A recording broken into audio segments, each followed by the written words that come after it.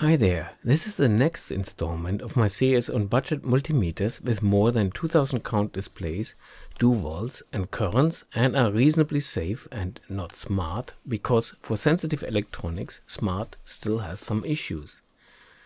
Last time I looked at the Crenova MS8233D which was not a bad choice. Let's see if today's candidate, the Morpilot 17B can beat it. The first impression is that the box is significantly larger. We have an instruction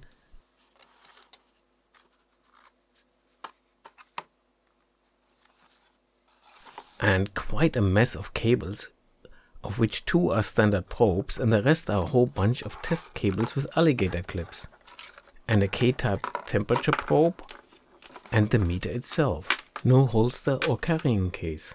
This large meter and especially its screen is really quite the opposite of the tiny Crenova. You can buy this meter from many places. I got mine from eBay for less than 17 pounds, about $21.5. As with the Crenova, watch out, there are different models. For example, there's one with NCV instead of temperature. I prefer temperature as I prefer using a slim voltage stick for NCV instead of a bulky meter and this meter definitely is a large model. Feature-wise, the Morpilot is very well equipped. It has millivolts, max min, rel, hertz or duty cycle and manual and auto range. The only thing I miss is a bar graph. Everything is quite clearly labeled and this meter is very easy to operate. As with many meters, hold serves two functions. Short presses do the hold while the long presses turn the backlight on or off. The backlight stops automatically after a rather ridiculous short 15 seconds, barely long enough to do a measurement and then read the value. Accuracy of multimeters is usually in the form of a percentage and a digit value, like here where the error is plus minus 0.5% plus minus 3 digits. As explained for the Crenova, the reason for the large increase in error on the left on DC volts and all the other ranges is that the smaller the measurement value, the larger the error caused by the digits part of the accuracy spec. If there's only a single digit left on the display, the fact that this can be three digits higher or lower than the true value makes a huge difference in error, while the same digit error on a large number in the display makes very little difference. With that out of the way, I standardize on showing in the upper graph the complete measurement I did, while the lower one is the same graph but scaled to the specific error range limit of plus minus 0.5% in this case.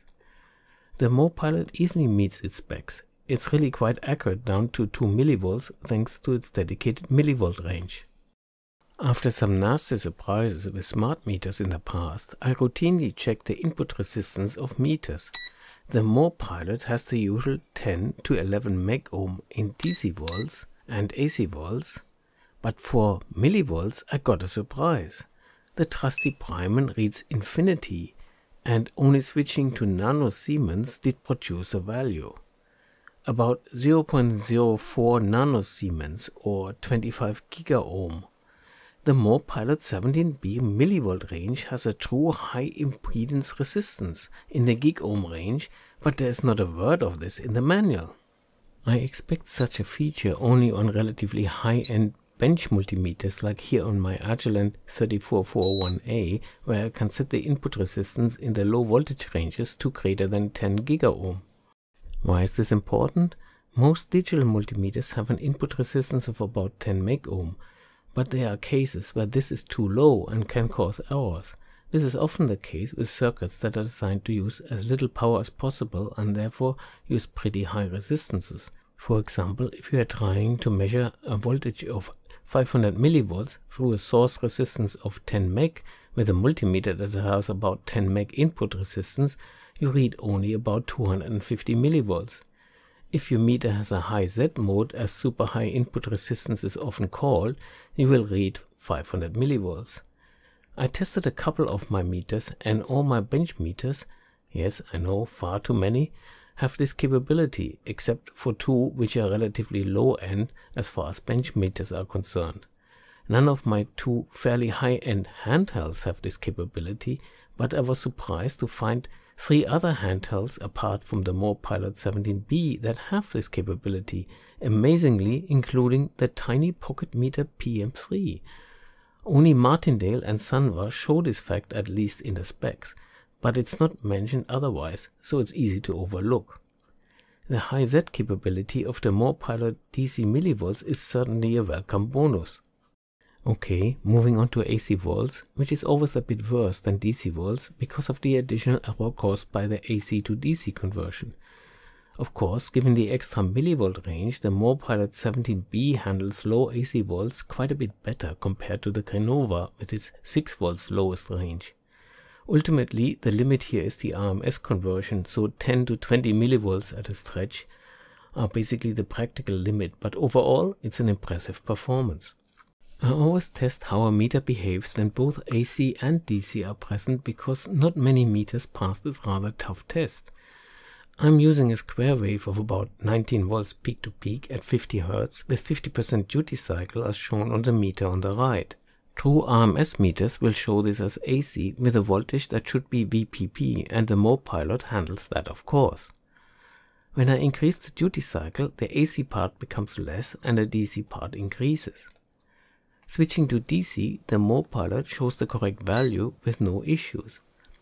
It works fine even when the AC and DC parts fall in different ranges, which is when most multimeters, like for example the Crenova, fail and have to resort to manual ranging. But it's not all gold. A second more realistic scenario is to measure ripple AC on top of a large DC. Here I have a setup, a case of 60 volts DC with about 3.8 volts RMS ripple on top. The Morpilot has no problem showing the DC part, but it has the same problem as the Crenova in that switching to AC shows 0 instead of the ripple.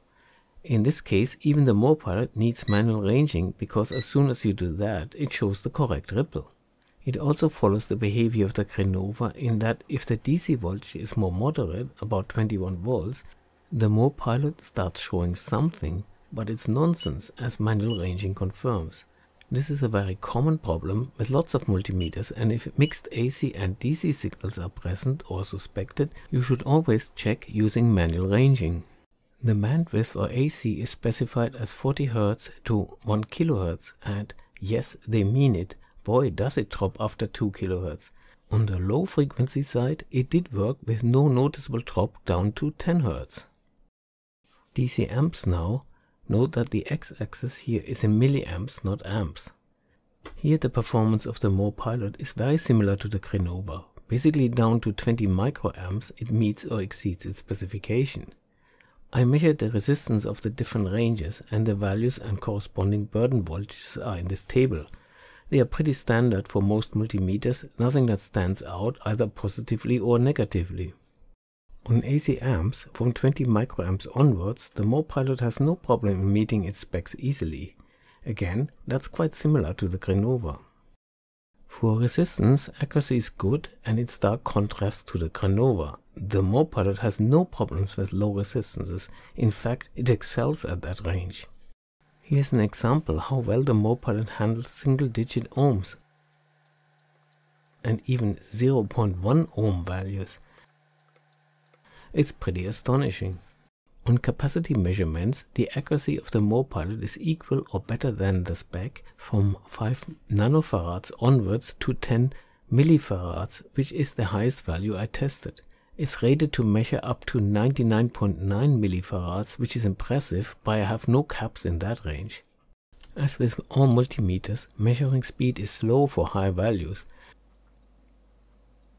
but with 10 seconds here, it's noticeably faster than the Crenova, which took 15 seconds for the same measurement. For frequency, the Morpilot is rated to 20 MHz with 1 volt RMS. In my test, the Morpilot has no problem to measure up to 41 MHz with that input voltage, which is excellent. Instead of NCV, the Morpilot has a temperature measurement range. Common with other multimeters, the accuracy specs are of course just for the meter and exclude the error the sensor may produce. I tested the meter with a simulator and it was spot on all the way to 1000 degrees Celsius or 1832 degrees Fahrenheit. On negative values there were some errors. These are amplified by rounding as the Morpilot only shows full degrees. It is likely that the cold junction temperature of the simulator and the Morpilot drifted slightly apart and so the minus 10 degrees Celsius value seen by the Morpilot was really minus 10.5 rounded up to 11 which is a 10% error. Verifying temperature measurements without a climate controlled chamber is very tricky so I'm not too worried, more astonished that the Morpilot rated for maximum negative 20 degrees Celsius or 0 degrees Fahrenheit happily marches on to minus 100, minus 150 and minus 200 degrees Celsius or minus 328 degrees Fahrenheit. So if you have a K-type sensor for that, the Morpilot is ready. Getting back from the cold, in diode mode, there's of course no problem measuring a single diode. Similar to the Crenova, the Morpilot does not use the beeper in diode mode. Two diodes in series are also possible. A red LED with about 1.8 volts forward voltage works. Two red LEDs in series do not light and no voltage is displayed. But similar to the Crenova, the nearly 2.7 volts forward voltage of a white LED is still shown. The leads that come with the meter are larger than the Crenovas but still slightly shorter than standard size. They are rated for 10 amps 1000 volts Cat3. There are no markings on the cable. Continuity test with the leads that came with it. It's hit and miss both on the display and the beep. The beep is rather loud, I have to tone it down a bit for the video. Swapping the leads for branded ones, I'm using Pomona but others are available, show that the sluggishness of the beeps is gone. I keep repeating myself here, but really, pretty much any budget meter is improved by replacing the leads with good ones. The extra leads in the box are the usual kind with alligator clips on each side. You get 5 pairs with different colors. Interestingly, one of the white ones was equipped with a slightly different alligator clip on one side. I take that one to point out that the cable conductor is just folded under and then the cable is just barely held in place by bending the two edges inwards. You can't call this a crimp and the connection is rather uncertain. As a matter of course, I soldered all this cable properly in and I recommend doing the same otherwise you will have no joy with these test cables. The battery compartment is accessible by removing one screw into a metal threaded insert. The meter takes a 9 volt battery. To find out how much juice the Morpilot 17B takes from its 9 volt battery, I powered it through my bench power supply. The Aneng meter on the left shows the current and the Brymen in the middle the voltage. At 9 volts the meter takes between 2 and 2.3 milliamps. Turning the backlight on increases this to nearly 11 milliamps. Common with many other meters, the beeper uses an enormous amount of current. The consumption shoots up to more than 34 milliamps when it sounds, and Backlight Plus beeper tops it at a massive 43 milliamps. I'm reducing the supply voltage while the Morpilot is measuring a voltage. This is to see when the low battery warning will come on and if the accuracy changes at low battery. The low bat indicator shows when the voltage drops past 6.5 volts with no loss of accuracy before that. This really utilizes the 9 volt battery and moreover makes it suitable for rechargeable ones which usually have a nominal voltage of around 8 or even 7.2 volts. When the low bat symbol shows, you do not have to be in too much of a hurry to replace it because as the voltage drops further, the meter does not show a loss in accuracy. I can drop to 3.4 volts just fine and only then there is a small change in the measured value. Amazingly, the meter keeps going until 2.5 volts before it finally turns off. The meter has an automatic power off function which is on by default. You get a warning at 14 minutes and at 15 minutes the meter shuts down into a sleep mode using about 8 microamps of current from the battery. You can disable APO by holding select when turning the meter on. It will still beep annoyingly every 15 minutes.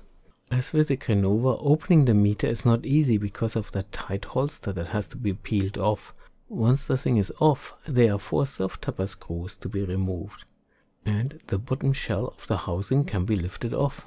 First impressions, lots of space and only a handful of components. Immediate eye catchers are the fuses.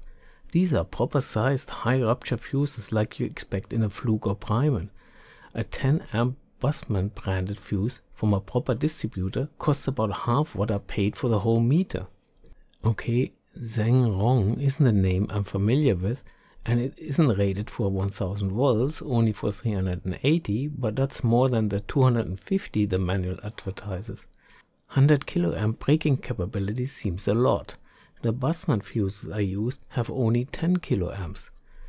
Zhengrong is a proper manufacturer and has a website in Chinese. Their fuses are available on AliExpress and eBay, but I was unable to find a datasheet.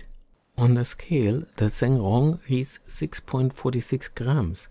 A Bussmann 10 amp fuse reads 6.6 grams and another Bussmann 6.3.4, nicely bracketing the Zhengrong so it seems genuine enough. Like on the Crenova we have the three current shunt resistors, the usual thick wire type for 10 amps, the 0.99 ohms for milliamps and the 99 ohms for the microamps.